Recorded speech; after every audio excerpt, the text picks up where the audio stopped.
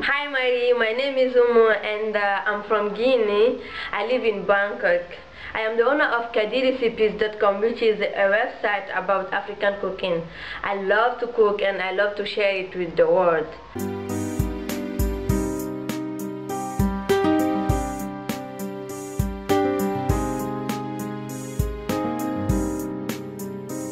Uh, and I'm sure that my recipes are helping a lot of people and uh, I, I am planning to write a cookbook on uh, African cuisine.